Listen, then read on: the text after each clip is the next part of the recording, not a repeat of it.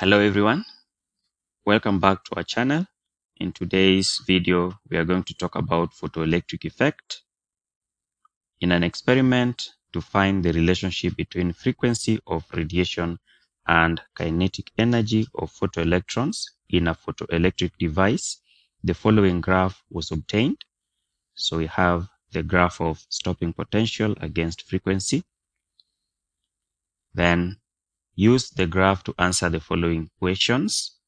Part A, Roman 1, determine the threshold frequency. Roman 2, find the Planck's constant H. Roman 3, calculate the work function of the metal in joules.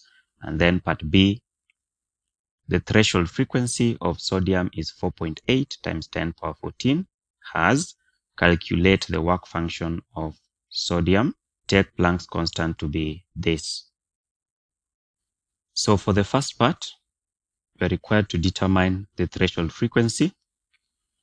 Now, for the threshold frequency, which is denoted by F naught, the stopping potential is zero. So we'll come to the graph at the point when the stopping potential is zero, that is on the x-axis. The x-axis represents frequency. So when stopping potential is zero, we come to this point where we have the x-intercept. So at this point, f is 2.5 and remember we must multiply by 10 power 14. So the threshold frequency is 2.5 times 10 power 14 Hz. Now moving to part 2, find the Planck's constant H. Now from Einstein's equation of photoelectric effect, H, F, which is energy of incident radiation, is equal to the work function plus the kinetic energy, which is given as E V, where E is electron charge and V is the stopping potential. So we have V sub S. Now, when you make V sub S the subject, we are going to have, so we can take W naught to the left hand side so that we are going to have E V sub S is equal to HF minus W naught Remember, W naught is the work function.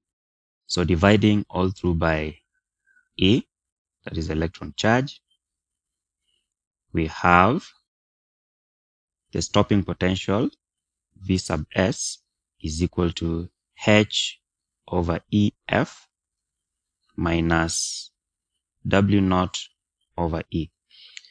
Now I want to relate this to the equation of a straight line in the form y is equal to mx plus c. Usually m represents the gradient or slope. So let's assume we were plotting the graph y against x. Then just like we have in this equation, we can relate it to this Einstein's equation of photoelectric effect. So y corresponds to Vs, that is stopping potential, x corresponds to f frequency and then this part here h over e corresponds to the gradient or slope remember in the graph we are plotting stopping potential against the frequency so here again we have stopping potential against frequency and from our relation the part we are interested in is this part here h over e which represents the gradient or slope. So we are going to say the slope S, let's represent it by letter S, that is the slope of the graph, is equal to h over e, if we extract it from this equation. Then, because we are looking for Planck's constant h, we can make h the subject, so this implies that h is equal to E, which is electron charge, times S. So that means H will become electron charge is usually 1.6 times 10 power negative 19. just as we are given here. And then we have to multiply that by the slope. So the slope will determine from the graph. We can identify two points on the graph from which we'll calculate the gradient or slope. So I wish that we take this point here and this point here so that if you look at it horizontally, we'll have the change in frequency and vertically we'll have the change in stopping potential. So change in V, change in F. And the slope therefore will be obtained as change in V over change in F. And for the change in V, we'll come to this point. We have 1.6 minus 0.4. 1.6 minus 0.4 all over. Change in f for this point we have 7 and for this point we should have 3.6 so 7 minus 3.6 but remember on the x-axis we should remember to multiply by 10 power 14 so here we have times 10 power 14. Now, when you work out these, the Planck's constant is 5.647 times 10 power negative 34 joules second. Part 3. Calculate the work function of the metal in joules. Now, for us to calculate the work function, remember from this equation we had earlier on, negative W naught over E represents the y-intercept and W naught is the work function. So we'll come and say that y-intercept is equal to negative W naught over E.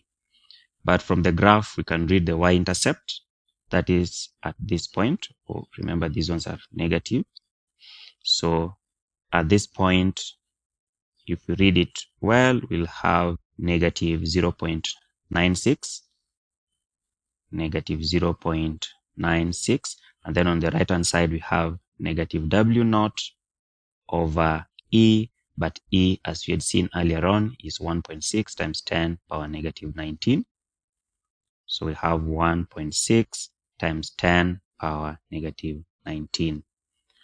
Now the negatives and negative cancel so that when we cross multiply, we'll have work function equal to 0.96 times 1.6 times 10 power negative 19. Now when we multiply these, we get 1.536 times 10 power negative 19 joules and that is the work function. Part B, the threshold frequency of sodium is 4.8 times 10 power 14 Hz. Calculate the work function of sodium. Take Planck's constant to be this. Work function is equal to Planck's constant times the threshold frequency.